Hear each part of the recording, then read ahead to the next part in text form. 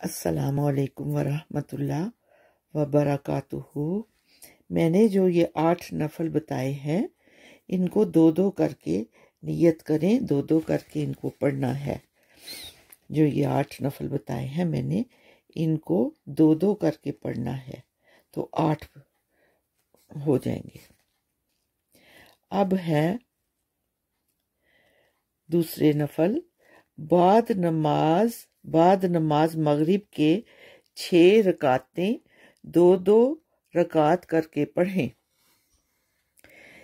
के दो रकात नफल दराजी उमर बिलखैर होने की नीयत से और दो रकात नफल बलाई दाफे होने की नीयत से और दो रकात नफल मखलूक का मोहताज न होने की नीयत से पढ़ें। और हर दो गाना के बाद सूरत यासीन एक बार, सूरत यासीन एक बार, सूरत इखलास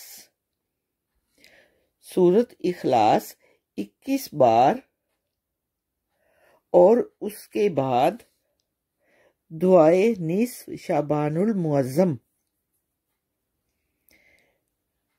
हाँ जी, ये मैं अब, ये आप दोबारा सुन लें। बाद नमाज़ मगरिब के छह रकातें, दो दो रकात करके पढ़ें और दो रकात नफल दराजी उमर बिलखैर होने की नीयत से और दो रकात नफाल, नफल बलाएँ दाफे होने की नीयत से और दो रकात नफल मखलूक का मोहताज ना होने की नीयत से पढ़ें।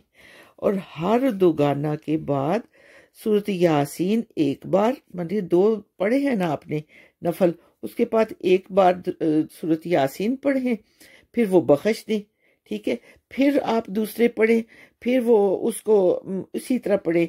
दो रकात पढ़े हैं और साथ सूरत यासीन और 21 बार 21 बार सूरत इखलास, सूरत इखला, इखलास 21 बार। ये हर दो रकात के बाद पढ़ना है, फिर वो बख्श देना है, दो रकात पढ़नी है, फिर ये पढ़ना है सूरत यासीन एक बार और सूरत इखलास इक्कीस बार पढ़ के, फिर दरूशी पढ़ के, फिर बख्श देना। इस तरह तीन ये छः रकाते इस तरह पढ़नी है। दो दो के बाद इस तरह फिर दुआएँ कर, दुआ कर लेनी है। ठीक है? जब छः पूरी हो जाएँगी, फिर उसके बाद ये दुआ पढ़नी है। ठीक है?